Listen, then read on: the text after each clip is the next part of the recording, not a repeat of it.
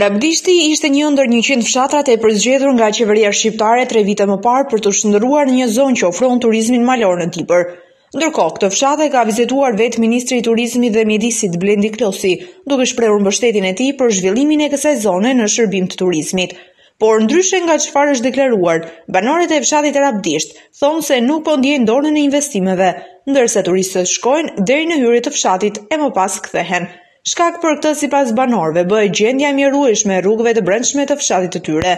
Sipas banorëve, ishte premtuar që rrugët e brendshme të bëheshin me kalldrëm, por që deri tani nuk është bërë asgjë. Ishte në projekt për t'u bë kalldrëmi i gjithë fshatit, tesh vijnë turistat deri këtu edhe ikin prapë turistat. E filmojnë këta baltat këtu. Bo, thotë nuk u kaloka këne, thotë ne ikin prapë. Vijnë mërziten nuk vijnë mo.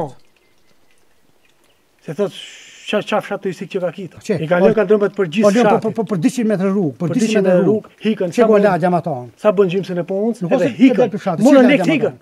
Po topë faqezes. Ai çfarë kanë? Çfarë pandemie më rrugë? To gjinaf mos mos mos mos mos bie virus. Po vijnë turista deri këtu dhe ikin.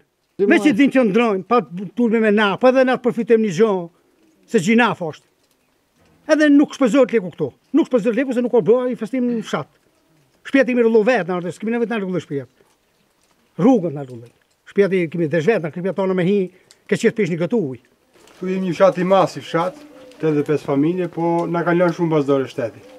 S'përgjigjet për ne, neve. Na vijnë turista për ditë, ikin, e shohin se çfarë është ktu, nuk investohet, edhe punë që i kanë bërë, ujësjellësin që kanë, i kanë lënë gjysmë. Me ndihmë ekonomike, ne po s'patëm bjeshkën, ne këtu mbarojmë. S'ka, për punë shteti këtu është e maru, me zezë, bimë mjekësore në bjeshkë. Me ato jetojmë neve, unë ndihmë ekonomike 30.000 lekë marr. Ça të bëj me ata, as dritat as ujtin s'laj.